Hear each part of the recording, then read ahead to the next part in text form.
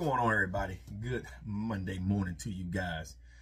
I'm not going to take too long on this video because, honestly, I, I, I don't even want to make it, but I'm going to make it anyway.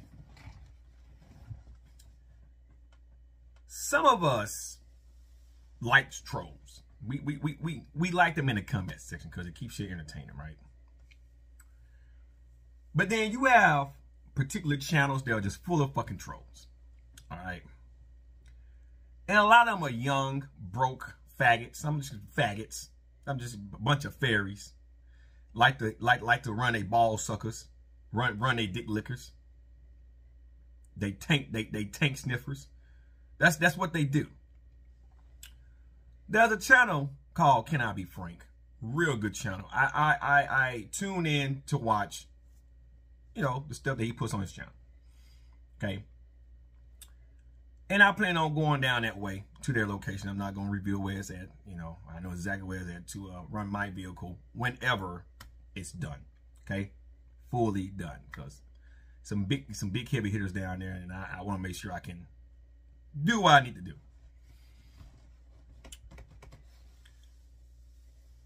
There's this rhetoric that when one car beats a car and this car's NA and your car is boosted or whatever, it's Ford suck. Chevy sucks. And it's always by the keyboard warriors. Now, you guys be on my channel long enough know I got a Dodge out there. It's really my wife's vehicle, but Dodge Ram RT. The only thing that's even done to that thing right now remotely is, is, is a basic gas tune. That's it. She won't let me do what I really want to do with it. My car, of course, is supercharged with ESS G2 kit.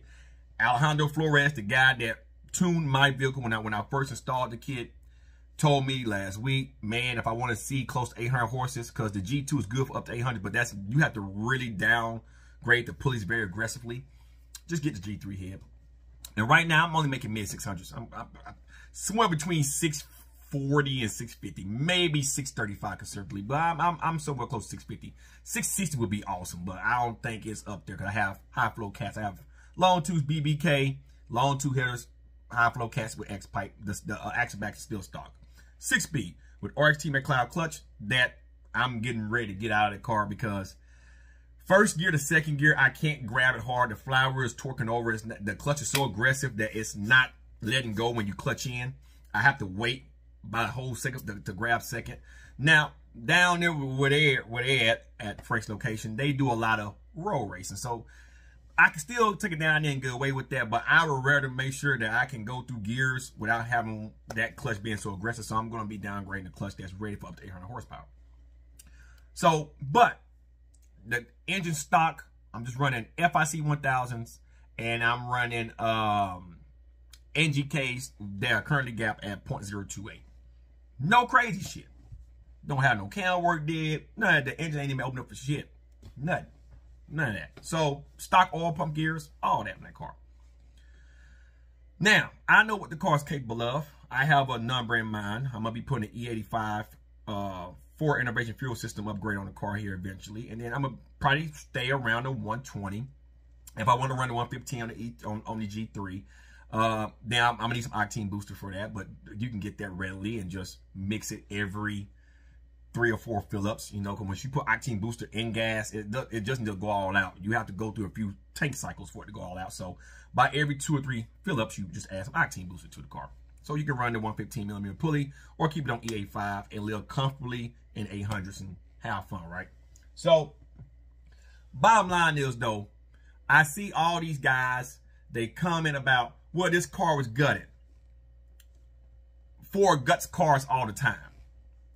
And I think that they're jealous that a Gen 3 especially, you can gut the vehicle, okay?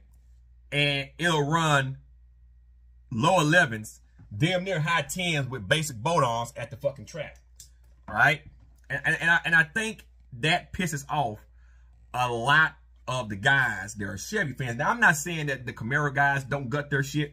All serious racers shed weight from their vehicles. It just when Ford do it, it's it's cringe for some odd reason. Now, I'm a fuel interior guy.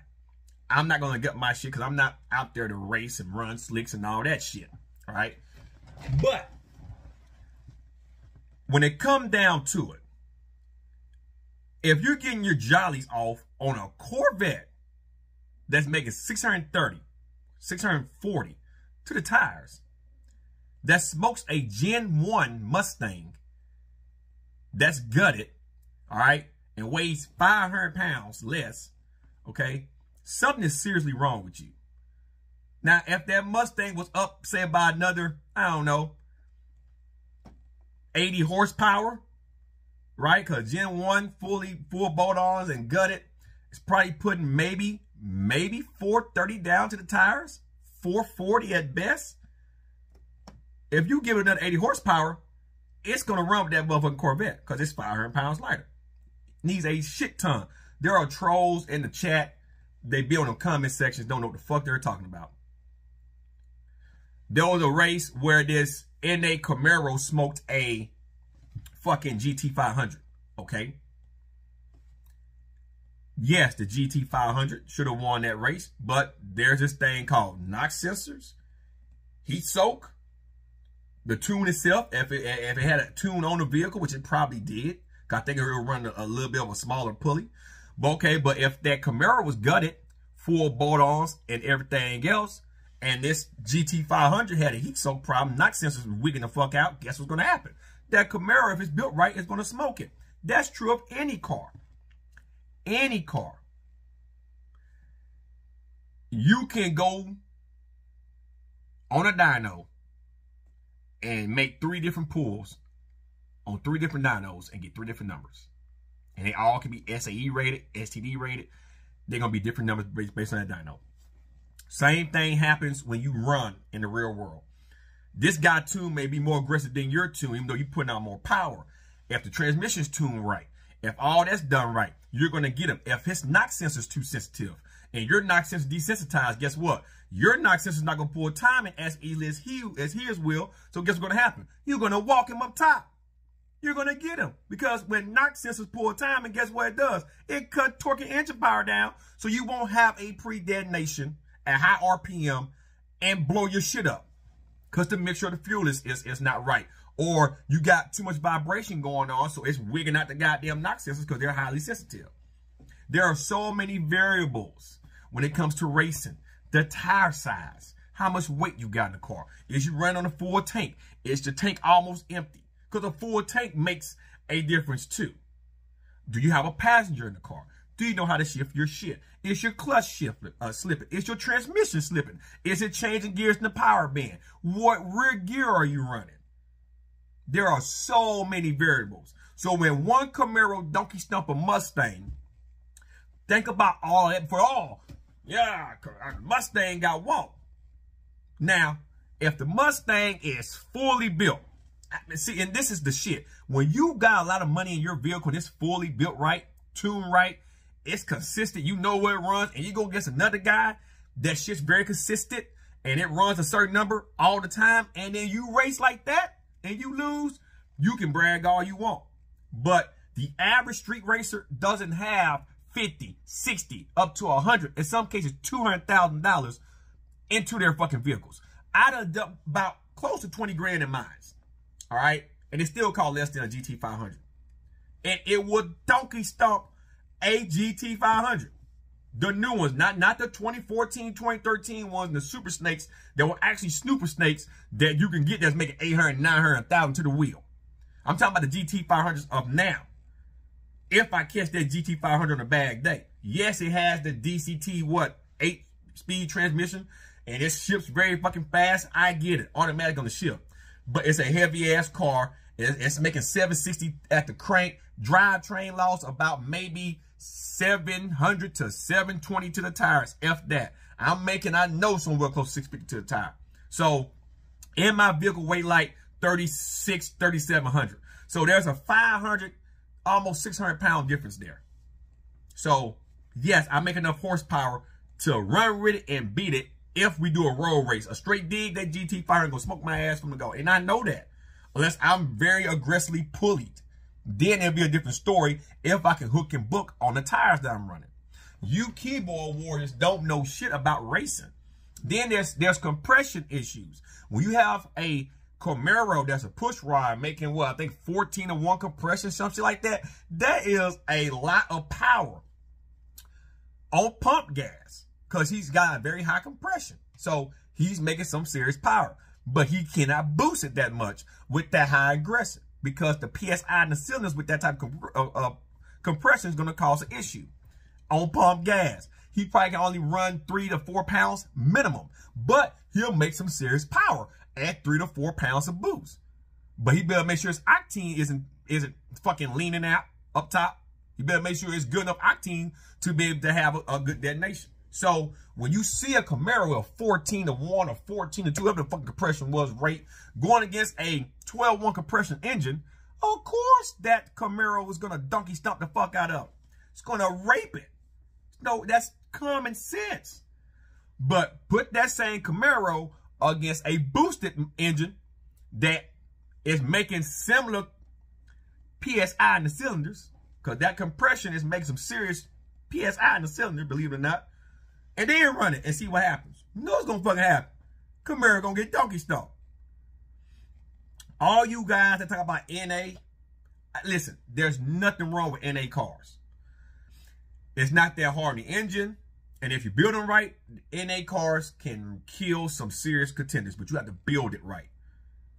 But for those of us that can afford some boost, and then you build that car right with boost, there's not enough money in the world that you can do to an NA engine.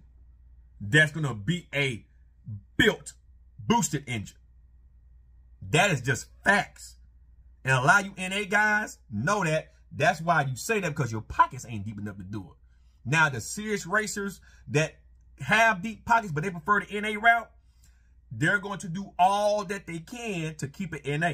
They don't really care about boost. But for those of us that can either do either or, boost is the way to go because it's easier to build around if you know what the fuck you're doing. And I think a lot of you guys in that comment section is a bunch of broke bums talking shit. You can take any car, any car, if you know what the fuck you're doing, and donkey stomp some supercars, some high-end cars. Them Honda Civics do it all the time.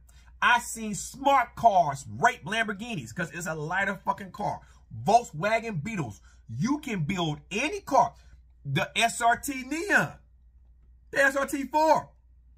The race, the Hellcat just smoked it. It's a lighter car. It was a good race, but it got him in the first race. The second race, it was close. Had it went a little bit longer, the SRT might have would have edged him, but that that that Hellcat has a, a, a, longer top end. But just just to take a SRT, a car that's like damn near 30 years old, it's over 20, and that can run with something like that, take a, G, a, a 370Z, take a take a Datsun 240Z and build it just right, and watch what happens. There are so many variables to racing that you trolls make it unbearable to even go in the comment section. Especially, especially fucking fake fairy Rob and and and and, and uh River Monkey Esco, all them shit talkers that hide behind profile pics and then drop slurs and want to call people bitches and shit, but won't turn their cameras on. There's a guy in Chicago talking about, oh, I whoop five those all time. When I called him out yesterday in the comment section, well, I ain't gonna wish nothing boosted, dingo. I bet you if I bring that Durango up there on that gas tune, you'll run that, don't you? You'll run that Durango. You say you whip 85 0. So when I say, well, I got a booster one, I bet you won't whip mine through interior. I say, talk your shit. Bark, bark, bark. That's what y'all do. Bark, bark, bark, bark, bark, bark, bark. Y'all couldn't afford the tire on my motherfucking car. Most y'all live in y'all mama basement and daddy basement playing GTA 5, like I said, or Midnight Club, or Gran Turismo, and fantasize about cars. Think you know the fuck you're talking about. Don't know shit. Y'all don't take in the spark. Ultimately, the tune decides the outcome of a vehicle. If it's built right, the tune dictates everything. For automatic, you gotta have a trans tune and all that. For a stick shift, you just gotta make sure your clutch can can can, can do its job and the transmission can hold the fuck up. And you get you you have the driver mod. That's why I'm a stick shift man. I am the driver mod. So ultimately the tune is gonna decide the final outcome along with the mods. But the tune ties in all of that if they need to be tuned, and most cars do. need to be tuned once you start adding a lot of shit to it so your shit can run properly. So if you have a tuner that's conservative versus a tuner that's very aggressive with pump gas, whatever, that aggressive tune, if it's dialed in right, it's going to donkey stump your conservative tune. That's common sense. I shouldn't have to say all that shit. That is common sense. So for all you trolls, and can I be, and listen, trolls, I'm glad that Frank allowed y'all to do this stupid shit that y'all do because it just shows how toxic the car world is. It's very fucking toxic. Very toxic. Because a lot of you guys like to just stir shit up, but it, it makes beef between the fractions. There are potential, all cars have potential. Every brand of car, from Porsches on down to muscle, has their particular top of the line vehicle. That what makes cars unique. I know my Mustang can beat some Lambos. I know my Mustang can beat some Porsches. I know if I build it right, it can beat not the top of the line, but it can it can come pretty fucking close. You know, unless I decide to go all in and get the, the G3R and it had to be on pump. I mean, E85 and all this shit, Sunoco one 100, all this fucking shit. At that point in time, I'm going all in. Built engine and everything, so I can make that thousand horsepower and run with those fuckers. I can do it on stock block, but I want to risk blowing my ship. So I built it to know I can hold a thousand. Transmission built, Ben Caliber, go all in. At that point, I'd gladly jump another 20 grand motherfucking car. If I really want to go all in to a donkey stomp, uh, top of the line Porsche, top the line, you know, Lambo, whatever. But I'm not in it for that. I'm just a guy that just love a little bit of speed on the street. That is it. And you trolls that don't drive right? Try to make it seem like when a Mustang loses or a Camaro loses, because it's some Mustang trolls in there too. I'm saying it's it's it's not the comment section used to be entertaining. Now it's just it's cringe as fuck. Then comment below if you like tip. It's some of the cringiest shit in the fucking world. G gay shit, if you really want to know the truth. And then I go away for four or five days because you know real world shit. Come back, Go catch my other videos. It's the same people in that comment section on every video saying the same stupid shit. And yes, it's helping Frank's channel with the algorithm, but it's really starting to turn off a lot of viewers that if he was getting a lot more comments of some sensible people, that it can really drive his channel the way he wants to go. You know, but everybody has the right to free speech, but it's really, it, it goes to show you the common sense in the car world. It's not a lot of it. It really isn't. And so a guy like me that sit back and say, well, I watched the race, Mustang had to jump, but then all of a sudden you hear the car bog when he went to third gear. That's knock sensor. If it's wah, wah, wah, he goes second, third, and, and then he goes 40, that's a knock sensor. That's knock poor timing It poor timing. It happens. You can listen to a car and know that. If it's spinning, you'll know too. It'll be and then he'll be trying the RPMs be going up, speedometer be going up, and he ain't getting traction. But you can you can hear the car whining loud, tires spin like a motherfucker. That's a traction issue. Transmission stall, automatic, whoa, whoa, whoa, whoa, whoa. That's a stall that shit happens sometime when you race. Doesn't mean the car is slow. There be mechanical issues sometimes. But you trolls don't think like that. Oh. Fucking Mustang got stomped out. Oh, yeah. Camaro got stomped out. Yeah, yeah, yeah. Just sit back and enjoy it. If it ain't your shit out there running, sit back and enjoy the race. And then when the people that were running come in and say something, oh, man, your car badass, bro. Oh, you, your whole tune changed. Oh, yeah, man, your car's badass, bro. Yeah, man. Uh, yeah, fuck, man. Yeah. Welcome to all that energy you just had five seconds ago. Bunch of fake motherfuckers in the comment section. That's what it is. So, You guys go check out Can Frank's channel. I, I enjoy the content. I just can't. The comment section it got too bad for me to make a video. It, it got it got bad. I finally started opening my motherfucking mouth more. I used to just be quiet and talk to the intelligent ones, but then you have the same people that go in the intelligent forums and start talking shit with the intelligent people that actually have cars on their channels. And then they try to talk shit to you like this Halo Silver guy. He, he he talks a lot of shit about Mustangs, but when I call this punk ass out this morning, oh, let's do it in A, I would gladly bring my Durango to where the fuck you're at and donkey stomp your ass. Because if you beat it, well, you beat a Durango. But you didn't want to ask thing though, now did you? But don't worry, I'm gonna get another, I'm gonna get another car, build it in A, just so I can donkey stomp your ass. Then a lot of you guys do flyby races. You see a car on the road, Mustangs do it, all cars do it. Motherfucking Mustang been on the road cruising, a Camaro come up, and then the Mustang not paying no mind, what? And take off. Oh yeah, yeah, I got him. I stomped him. Uh, motherfucking Mustang not even trying to race. Ain't even worried about you. Mustang guys do it too. Motherfucking Scat Pack build a motherfucking road. Mustang guy go on side, take off. Hell man, with the Scat Pack. Scat Pack not even worried about you. Motherfucker be cruising. That's what a lot of you motherfuckers be doing. That's what a lot of y'all be doing. But then you get a motherfucker like me that be looking for a motherfucker like that. I be looking. Anyone that knows me, that be in the car with me, when I'm riding, I'm always looking for an asshole to try to do one of them flybys real quick. I be looking for it.